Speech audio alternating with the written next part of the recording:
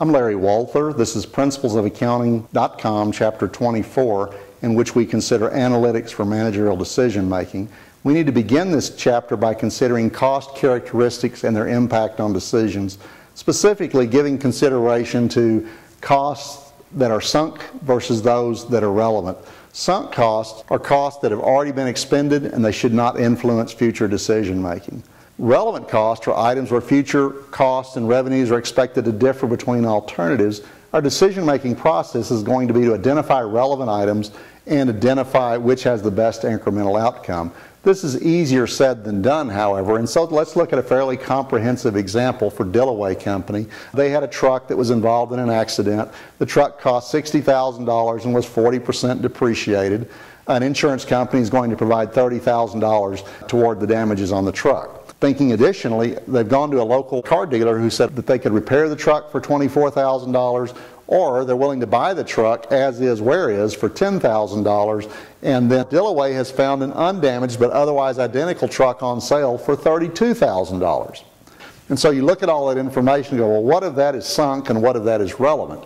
The truck's original cost is sunk, it's irrelevant. So is the degree to which it's depreciated, so is the degree to which there might be a gain or loss on the disposal of the truck.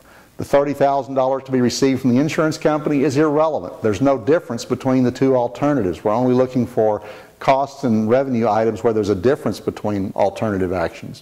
So all that matters really is that the truck can be repaired for $24,000 or it can be sold for 10,000 and an alternative truck purchased for $32,000.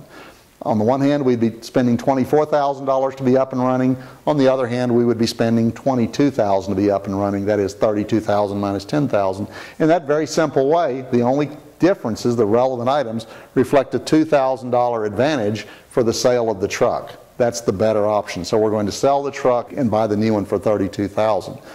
Can it really be that simple? What about all of the other information?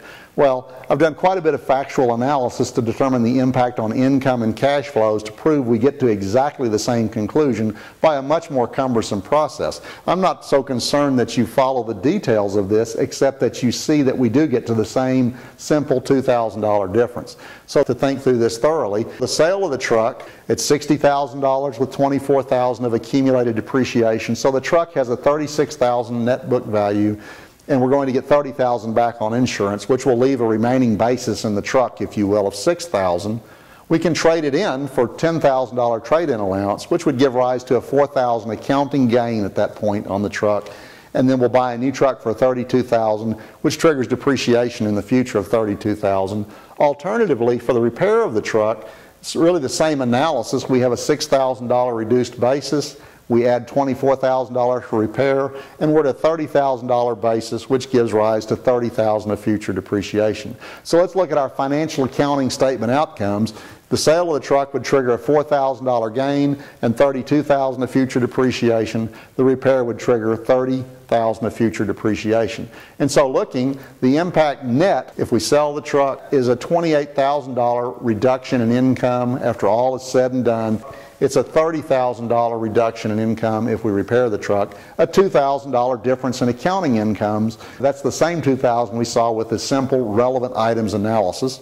The cash flow analysis shows the same thing. On the sale of the truck, we've got 30,000 cash inflow from insurance. We've got 10,000 inflow from selling the used truck. We've got 32,000 cash outflow from buying the alternative truck a net $8,000 of cash inflow, whereas on the repair of the truck, we've got 30,000 of insurance proceeds less 24,000 to repair it, leaves us with $6,000 less cash, a less favorable outcome on cash flow analysis. We keep circling back to the same conclusion.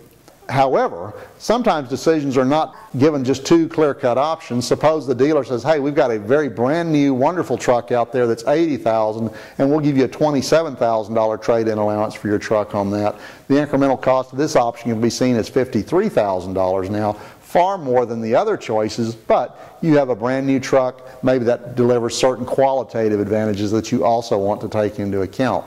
So managers must be mindful of the impacts of decisions on production capacity, customers, employees, and other qualitative factors. Analytics support decision making, but they certainly don't supplant judgment.